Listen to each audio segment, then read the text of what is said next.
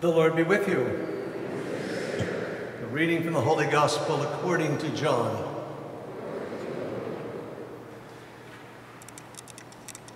At that time, Jesus revealed himself again to his disciples at the Sea of Tiberias.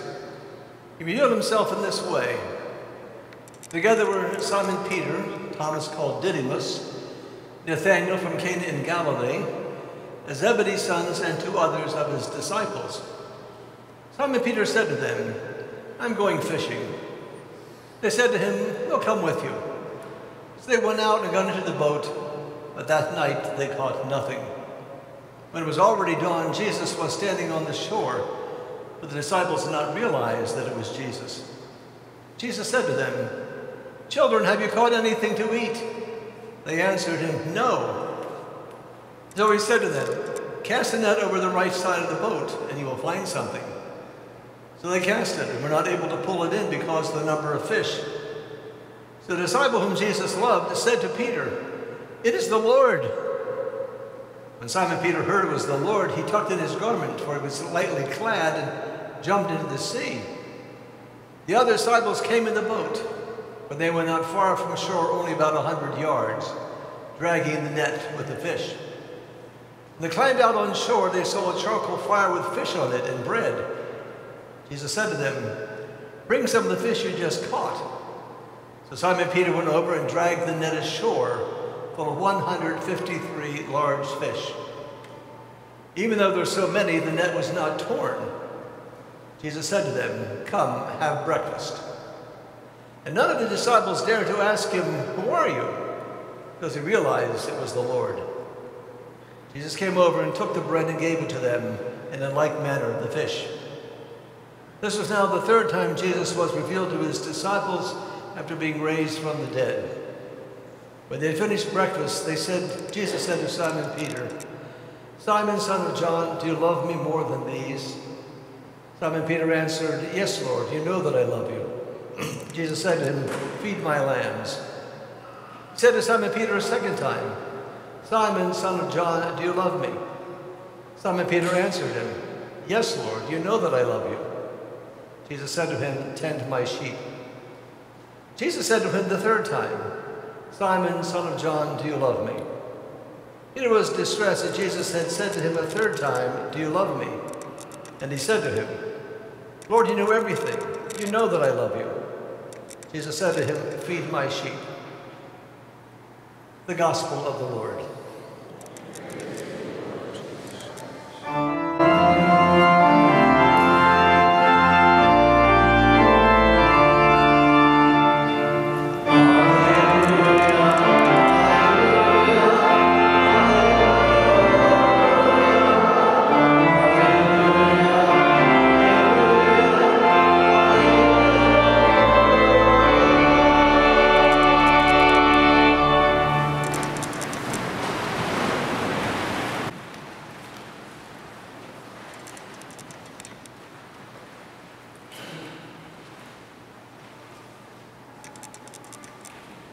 Sidney and Tilly were very happily married uh, for many years, but Sidney got sick and uh, he was getting sicker and sicker, so he called Tilly over one day and said, Tilly, uh, I'm going to die, uh, but I want you to take these three envelopes I'm giving to you, and these express my last wishes. And so when I die, take each of the envelopes in proper order and do what it tells you to do. Now, Sidney was a very thoughtful man. He, one of those sort of control freaks that had everything all lined up, even his funeral. And so when it was all over with, uh, her friend said to her, well, what was in the envelopes? She said, well, the first one was a check for $5,000. And it said, buy me a nice casket. So I got him a nice mahogany casket, nice and comfortable inside and I'm sure he'll be very comfortable there forever. He said, and the second one was uh, one for the funeral. He said, give me a nice funeral. So we had a nice funeral ceremony at the church, and then we had a lovely uh, banquet, a luncheon afterwards. And I had all his finest foods, the things that he liked and I knew that his friends would like. And so they said, okay, well, what was the third one? She says, well, the third one uh, was a check for $50,000. And he said, buy a nice stone. 10 carat, what do you think of it? So we have to be careful. Um, but I'm not thinking so much about the humor about the stone as I want to talk a little bit about three. You ever notice in the scripture and in life itself, uh, things uh, usually come in threes. There's human metaphor somehow that three works. In jokes, there's always three things. You know, the Irishman, the Italian, and the Pole. Uh, the Franciscan, the Dominican, and the Benedictine. Uh, there's always three, not two, not four. Two's not enough to make it work. Four can make it complicated. Uh, so two is enough. It's sufficient to make the whole ploy work. It's kind of cryptic, a symbolic sign that has everything to do with making the right point. Passion, death, and resurrection of Jesus has a right point to make and therefore uses three all the time. Jesus returns to the prayer in this Garden of Gethsemane three times. How many disciples did he take with him? Three. Peter denies him three times. On the way to the cross, Jesus falls three times. On Calvary, three are crucified. Jesus hangs on the cross for how many hours? Three hours. And so these stories of Sidney and Tilly are just sufficient to get our attention and to emphasize the depth of what's going on in the life of Jesus. After his death, Jesus appears three times as a gardener, a housebreaker, and a chef. These coincide, as we'll explain, with the times of grief, discouragement, and hunger. He appears to Mary Magdalene, who's so full of grief that through her tears she thinks Jesus is the gardener. He housebreaks only through locked doors and comes, we read last week, stands in the midst of the disciples and says, Peace be with you. The disciples were hanging out there wondering where they would go from here, and Jesus had plans for them. Finally, in today's gospel, he appears on the shoreline as a chef. Picture Jesus with his white coat on and his chef's hat and his, his grill, uh, making grilled fish. Was it pretty plentiful? Well, it depends who was doing the fishing. So the disciples were still in this situation. Remember, this is Easter Sunday. Everything in John happens on Easter Sunday. Jesus goes back to heaven on Easter Sunday. So got to cram a lot in there. That's why Matthew, Mark, and Luke sort of spread out the story. So he's making this fish because he knows they're hungry and they're despondent. And he knows they're really going to want to see him. So they don't know what to do, and so they think maybe they'll go back to their former way of life. But their hearts weren't really in it. They wanted to fish, but yet they really didn't want either. They were hungry for something more, and Jesus wanted to whet their appetite by spending some time with them. This is the third time Jesus has revealed to his disciples after being raised from the dead. The three appearances are just enough to make the point. Jesus has been raised up, and there is enough to counter those points the grief, discouragement, and spiritual hunger. Grief.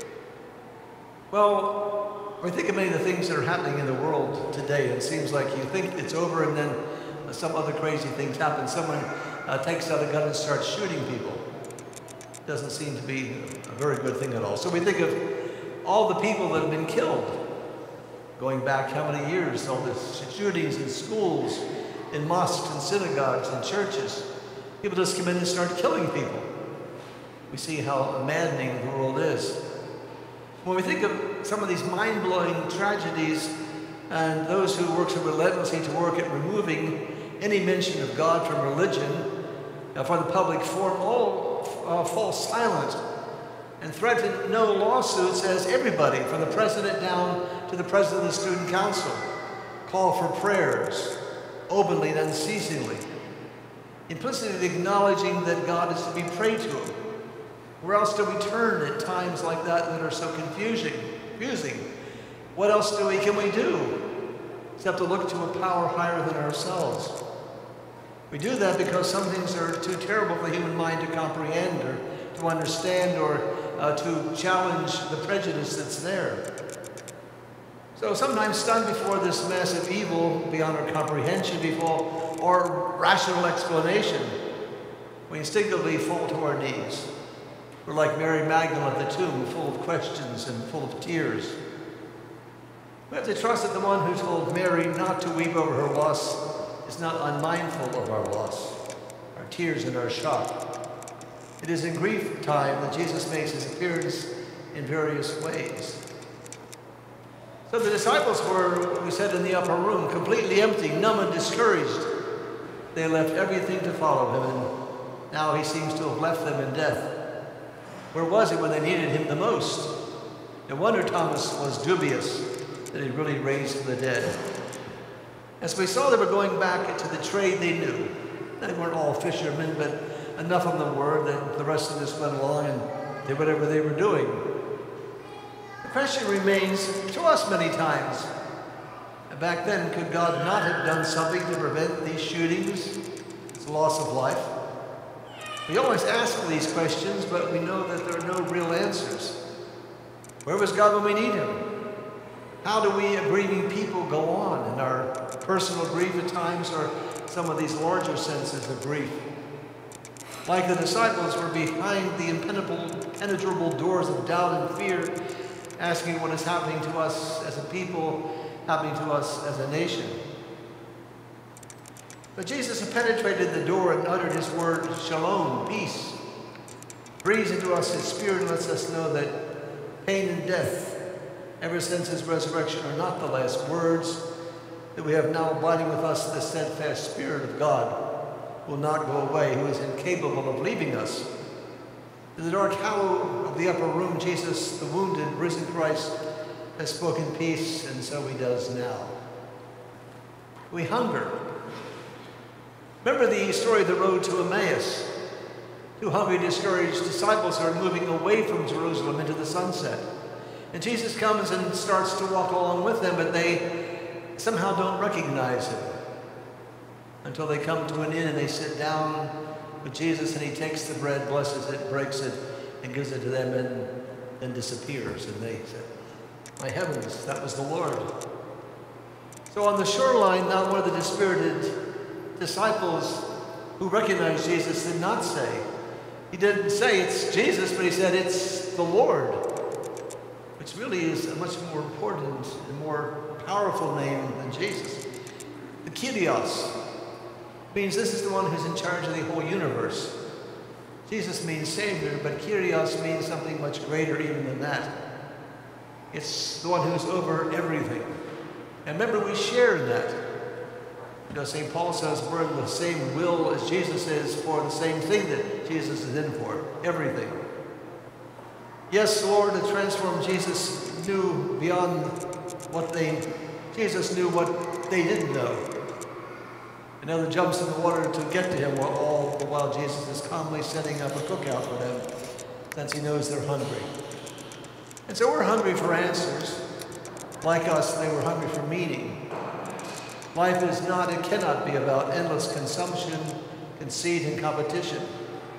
We don't live on bread alone. We're hungry for relationships that don't exploit, friendships that don't betray, and a God who makes all things new again even out of senseless tragedy. Jesus' cookout, of course, is not an answer in itself, but a reassurance, again, of Jesus saying, I am the bread of life.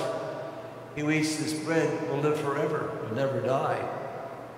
Which is to say that his life, teaching, and resurrection are nourishment, even when, especially in times of tragedy. How can we our, lead our world, our nation back to God into sanity? in our nation as a whole today, we've asked God to get out of our face, to go away, to mind his own business, to let us do what we want to do. Not to tell us things are right or wrong, but it's all about what I want. And then we're surprised that terrible things happen when we say, God, remove your protective hand from our society. There's evil in the world to be seen, more evil than we ever see. It's all um, sometimes called the deep state, and it's really there powerful, evil people behind the scenes that control things that we don't know anything about.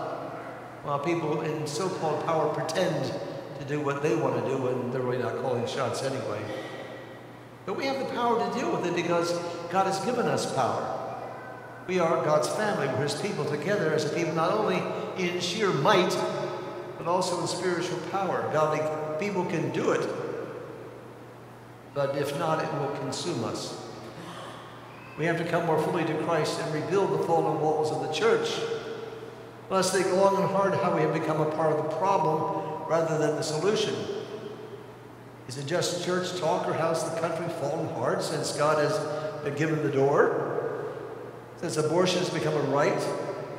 Since the sin of every person is good because they want their rights, even if these rights are not good for the common good or for society? The Catholics have become wimps. We allow the pagans out there in the world to call the shots, to change our society, to change the whole Judeo-Christian tradition, uh, to give it to the devil. We allow the pagans to do whatever they want to do, and so we're afraid to stand up for the truth. We'd rather just sit back and go along and look what's happening. Please pray for God to strengthen your back and my backbone and help us to stand up for the truth. This is a gospel made for today, highlighting these three fundamental human conditions and emotions grief, discouragement, and hunger. It's also a gospel of three approaches to not weep, shalom, and eat. Three words, the right three words for troubled times, maybe even now, especially in these times of tragedy. Let's ask the Lord to help us to think this out, to think how does it change? How do we keep it from going deeper and deeper and deeper in the pit? Where will it be 30 years from now if we don't take some action? Look where it is now today because we haven't taken any action in the last 50 years. There's not much left to religion, much left to sanity, much to integrity, much to morality. Either have a choice to let it go the way it's going or stand up and power and harness the power Jesus has given to us to make things different and to make things new.